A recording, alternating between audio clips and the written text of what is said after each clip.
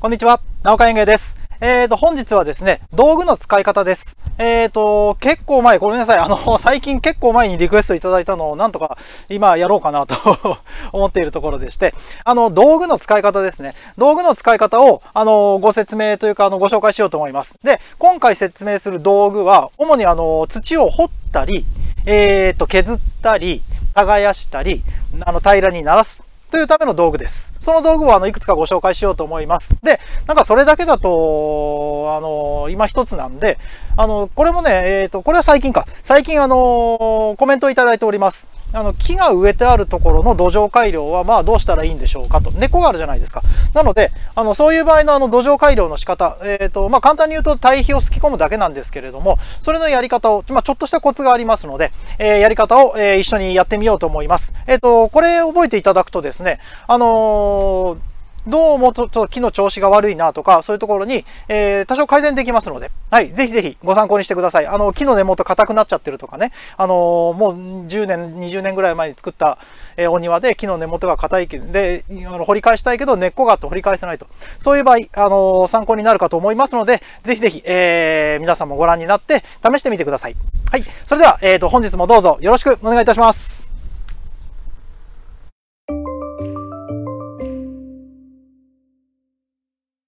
ではでは、えーと、やってみましょう。まず一つ目、まず一つ目ですね。はい、これ。えっ、ー、と、つるはしです。つるはし。えー、つるはしは、尖った方と平らな方、二つあります。うん。で、この二つをどう使い分けるかっていうのをまずやりましょう。えっ、ー、と、ここは砂が柔らかいんで、あれなんですけれど、あのー、まあ、硬いと仮定しましょう。で、硬いとスコップでこう、ガシガシできないじゃないですか。そのという時に使います。えっ、と、例えば、こういうところを、あの、まずは、こっちの方ね、尖った方でほぐします。で、ほぐす時も、あの、力いっぱいやるんじゃなくて、割とこう、重さだけでこうやってやって、刺さったら、てこの原理でグイッと、こういう風に、よいしょってやると、そんなにあの、力がいらないんですよね。うん。こういう感じ。よいしょ。やって、なんて言うんでしょうね、この土を起こしてあげるような感じ、イメージですね。はい。で、やってあげると。で、ある程度ほぐれたら、こっちの方で、えっ、ー、と、こう、こういう風に、平らにならしてやってあげる。硬いところだと、こう振りかぶって、こう、ドンってやって、こう、クワみたいにね、えー、やってあげるっていうこともできますんで、はい。基本こっちの方をこうやって削って平らにしていく感じですね。はい。これが、あのー、ツルハシの使い方です。あの、闇雲に、こう、力だけで、ガーッとやってしまうっていうことは、えっ、ー、と、避けましょう。あの、怪我する場合がありますんで、はい。えっ、ー、と、最初はこう、なるべく、えてこの原理で、えー、柔らかく、こっちでね、こう、柔らかくしてから、こっちの方で削ると。うん、やってあげるといいと思います。うん、というわけで、えっ、と、まず1個目、えっ、と、つるはしでした。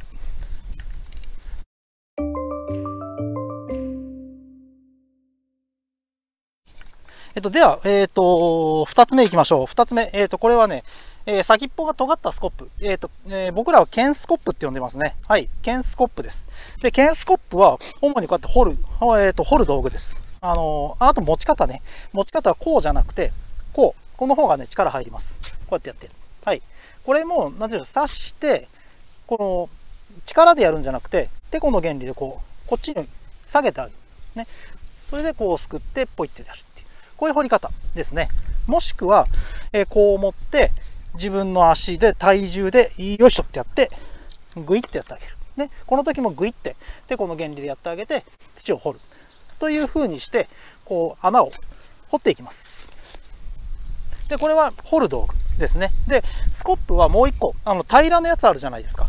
あの、そっちはね、角、角の、角型のスコップなので、角スコップと呼んでいます。で、そっちの方もやってみましょう。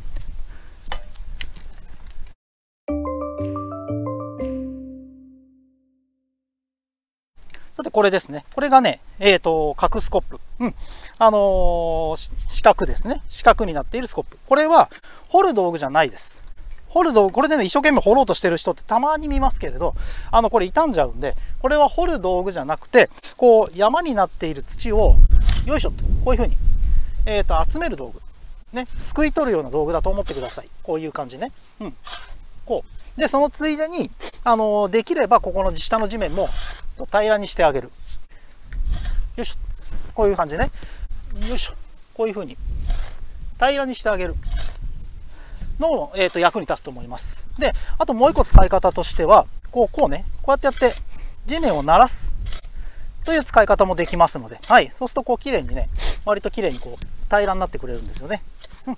なので、えー、土を集めたりすくったりする道具だと思ってください。あとね、もう一個僕よくやる、えー、と使い方は、こう持つじゃないですか。で、硬い場合ね、硬い場合は、あの、この膝の内側を自分のここ、肘のこうこういう感じね、こういう感じで当てるんです。この膝で押す力を使ってグッと、ここでね、押してやると、結構あの、使えますので、えっと、これやってみてください。これ結構使えるんですよ。はい。えー、と、じゃあ今度、えー、ケン角スコップでした。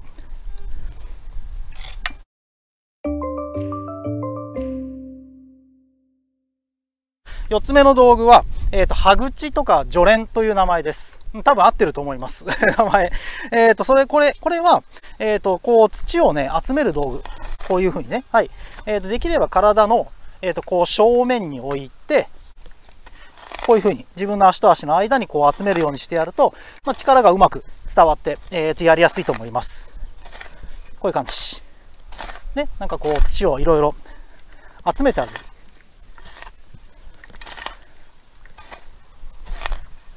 まあ、軽いあの一年草の草ぐらいだったらこれであの草取りザラザラとできちゃいますけどね。はい。こういう感じで今度山にして集めたい場合、えー、これを除蓮という、えー、道具を使います。よいしょ。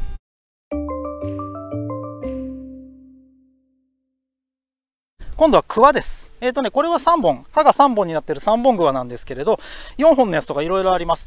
えっ、ー、と、どっちでも変わりません。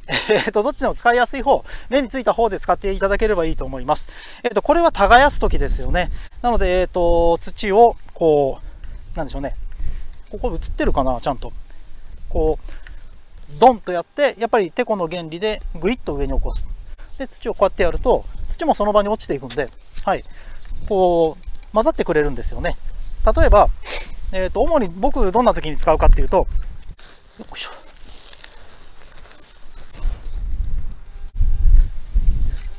まずこう、堆肥を花壇なんかに混ぜたい時、うん、なんかによく使うんですけれど、これをこうね、ドンってやって、こうやってやると、これだけでも混ざるんですよね。よいしょ。こうやってやるとね。うん。あの、使ってみるとね、めちゃくちゃ便利ですよ。はい。これでね、結構混ざってますからね。うん。ああ、なんて楽なんだろうって思いますね。あの、だから、昔のこの、なんでしょうね、お百姓さんの道具っていうんですかね、農作業具ってよく考えられてますよね。はい。って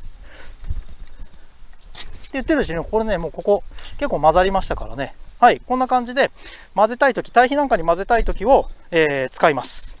えっ、ー、と、クワです。というわけで、1、2、3、4、5、5種類。じゃあ最後6種類目いってみましょう。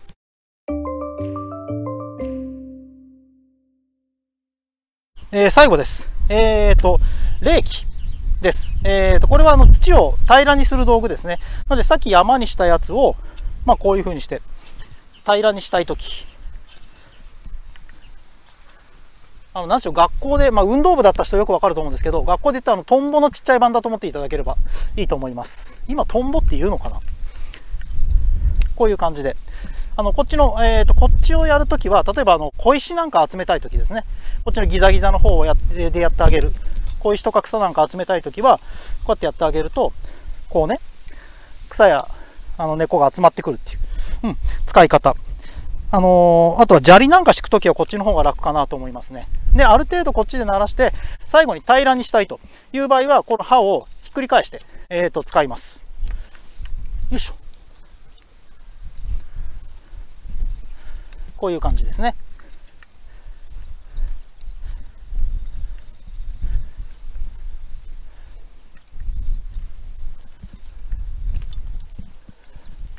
さあどうでしょう？こんな感じ。うん、綺麗になったでしょ？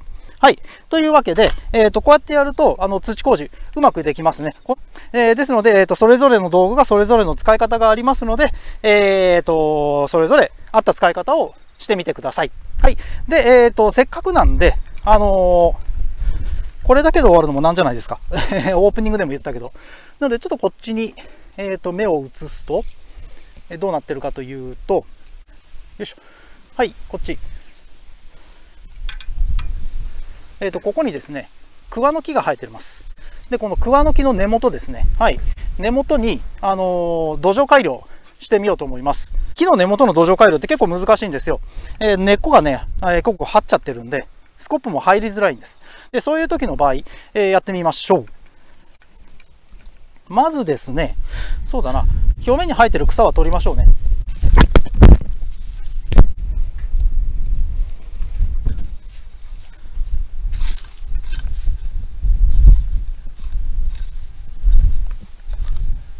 ずこんな感じで表面に生えている草は取っておきましょう。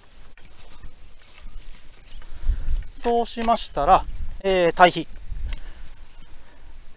えーと、とりあえずこの辺にどさっと開けてよいしょ。さっきのね角スコップ。これでこの木の周りに大体こうやって巻いてあげます。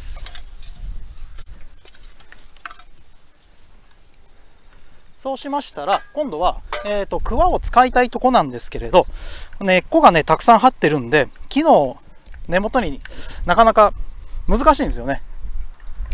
えー、っと、なので、こういう場合は僕はこのケンスコップ、これを使います。こいつ。ね。うん。で、これを、えー、っと、やるときのコツなんですけれども、えー、こうこうやりたくなるじゃないですか。こうね、こうするとガチッと、ここで今当たってますけれど、あのここのが分かりやすいかな。で当たるんですよね。木の根っこに当たっちゃうんです。で、これを無理にやると木の根っこが切れちゃうんで、まああまり良くないんじゃないかなと思います。というわけで、じゃあこういう場合どうやるかっていうと、木に対して面と面ね、向かう平行でいいのか。平行じゃなくて、こう、この面。こうですね。こうやってやると入るんですよ。で、ここに、あのできればこうやって掘り起こして入っていけばいいんですけれど、なかなかそれも難しいかと思いますんで、こうやってやって、グッてやって、こういうところにね、堆肥をこうすき込むんですね。こんな感じ。で、こっちもグッてやって、こういう感じですき込んでいってあげる。耕すよりも堆肥をね、こう、すき込んでってあげるという、えー、イメージでやっていただけると、よいいように思います。はい。なかなかね、耕すのはもう難しいと思います。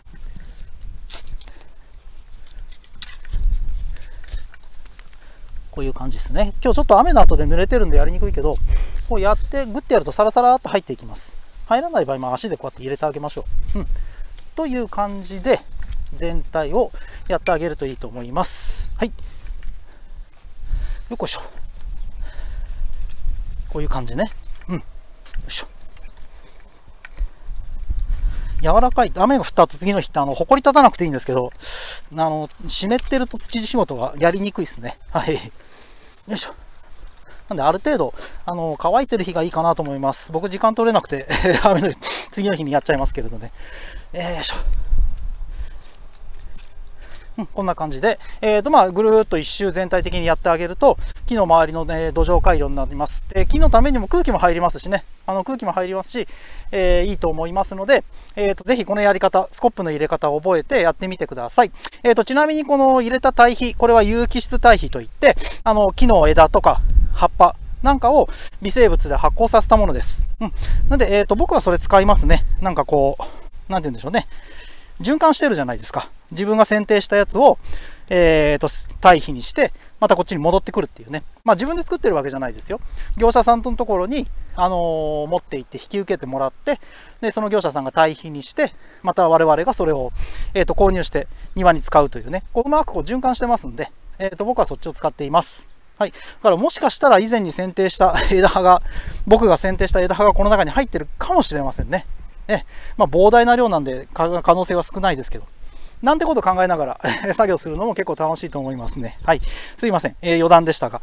えー、まあこんな感じで、えー、と、スコップ使って木の周り硬くても、えー、堆肥をすき込むことぐらいはなんとかできると思いますので、やってみてください。はい。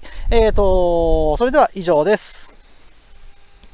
えー、それではご視聴くださいましてありがとうございました。お疲れ様でした。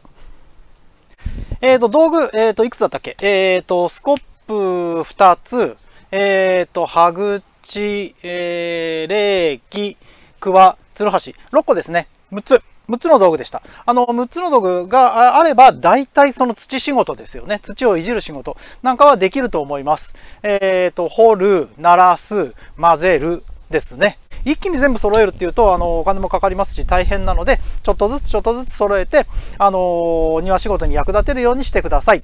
えー、あと、あの、木の根元の土壌改良ですね。はい。あれもまあ簡単な方法なんですけれど、ただスコップをね、あの、木に、木に対して、こうじゃなくて、こうっていうね。うん。あの、直、木に対して直角でいいのかないいんだよね。これだと平行だもんね。そうですよね。直角になるように、えー、入れていくと入れやすいです。うん。とはいえ、やっぱりもう10年、10年以上経ってると、あの根っこは結構張っております。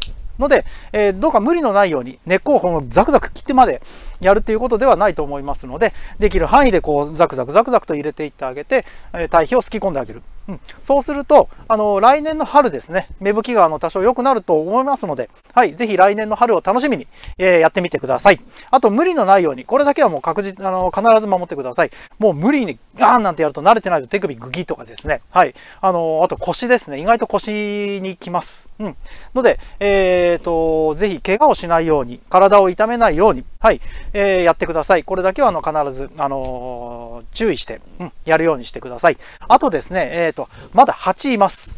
えっ、と、少なくともこの静岡県浜松市、まだ蜂がいますので、はい。で、しかもね、今ね、ちょうどあの、足長鉢なんかだと、えっ、とね、集団で巣に固まってますね。あの、あそこ、幼虫から成虫になって、集団でいますので、そんなところに手を触れたら大変ですからね。はい。あの、ぜひぜひ気をつけてください。あの、虫っていうのもまだまだ、えっ、ー、と、気をつけるように、えー、やってください。あの、怪我とですね、えっ、ー、と、虫刺され、これだけは注意をしてやってください。もう熱中症の心配っていうのはだいぶ減りましたかね。はい。えー、それでもまあ水分取ってやるといいと思いますので、あの必ず後から嫌な思いをしないように、えー、ぜひぜひお願いいたします。えっ、と、それでは、え次回の動画でまたお会いいたしましょう。本日も最後までご視聴いただきましてありがとうございました。